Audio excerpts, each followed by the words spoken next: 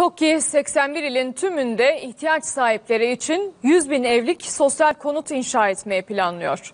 Düşük fiyatla hak sahiplerine teslim edilecek konutlardan alabilmek için bazı şartları taşımak gerekiyor. İşte ayrıntılar.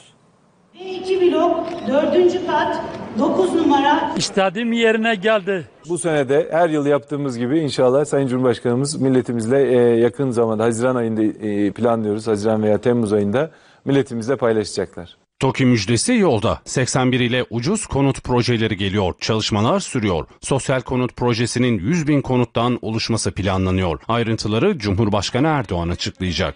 Şartlar uygun olursa düşünülür.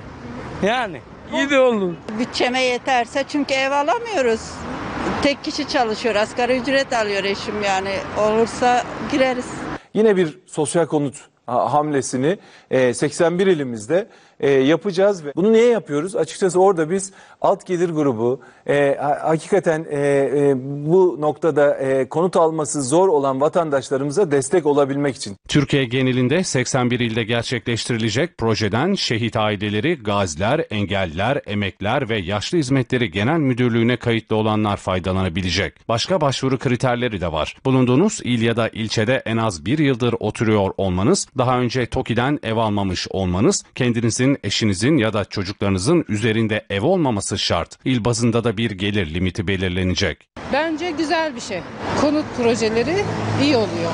Bu seneki sosyal konut fiyatları henüz netleşmese de bakan kurum geçen yıldan bir fiyat örneği verdi. Ben fiyat vereyim size.